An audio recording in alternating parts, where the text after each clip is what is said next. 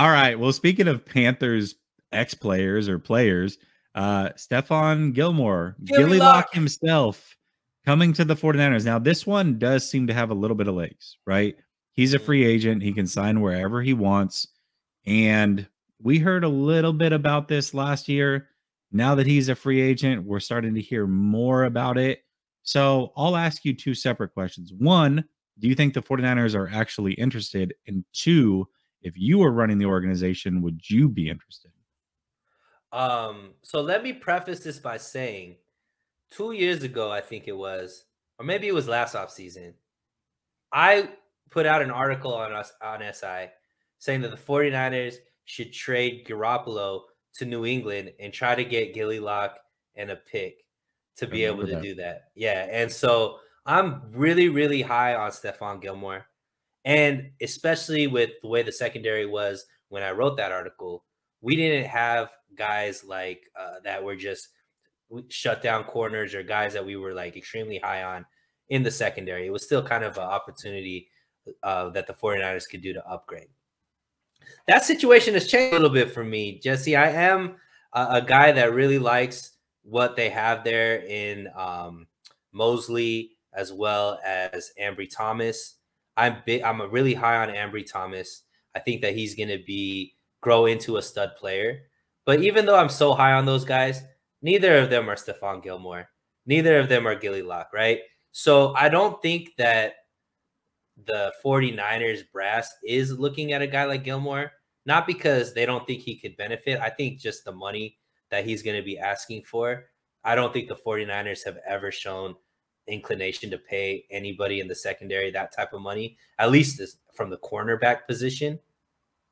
Now, if it was me, I would kind of think twice about it. The reason being, the only Achilles heel that I've seen from that defense when it comes to the defense being a reason why the team lost. Because majority of the times if team loses, I don't really put it on the defense. Um, it's usually because of lack of scoring from the other side of the ball or something happened in special right. teams. But as far as like, there have been a couple of games where the defense definitely didn't show out. That was week three in, uh, against Green Bay and the NFC Championship game against the Rams.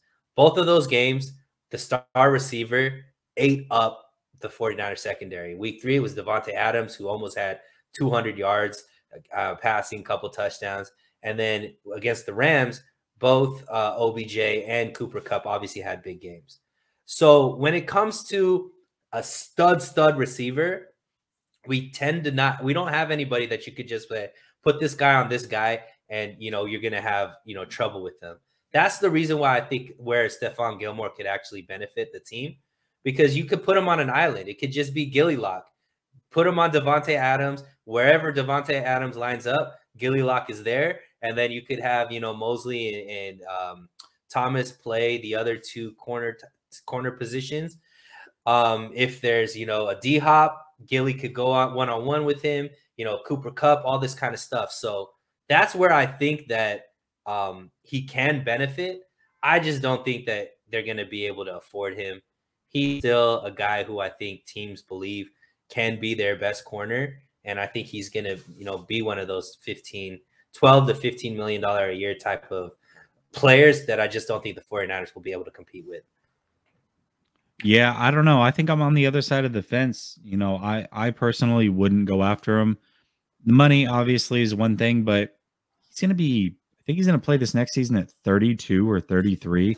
When you're a man corner, at some point that's just going to drop all the way off. And I would rather be on the side of, hey, we missed out rather than signing him. And then you've got a two year deal where you're locked in and he drops off this next season and you're stuck with him. So, also, I don't think either of the other corners, whether it's Ambry or Moseley, really could kick inside. And so that is a big reason for me. I would stay away from Gilly Lock. I, great career. Let somebody else spend that money. I would rather bring in somebody that can kind of compete with an Ambry Thomas, somebody like a Kyle Fuller, somebody that's 30 years old, always healthy, won't be near as expensive, and can either compete for that starting job. And if he doesn't get it, would be a hell of a backup. That's kind of where I'm leaning more towards. Um, you know, I, I think Gilmore would be a luxury because Ambry Thomas, like you said, did come on and show some really good things. And I'm comfortable with both him and Moseley as our starting corners. I, I really am. Now, the nickel corner spot, that's a whole different deal. But at this moment, I just I, don't see a purpose of paying big money to a 32 year old corner. Now, if they have an opportunity to bring in a JC Jackson, I would listen to that because he's much younger. I just don't think the Patriots are going to let him get away. Now, I know that he posted something along the lines of, you know, the Patriots, they don't know my worth or they're not willing to give me my worth. That is going to get worked out. I would I would be shocked if it didn't. The Patriots really value lockdown type corners, especially when they're young. They will trade for them. They will put a lot of assets into them and they will pay them. I think at the very least he gets franchise tagged and we'll be back with the Patriots. That's just me personally. But I do want to get to this comment.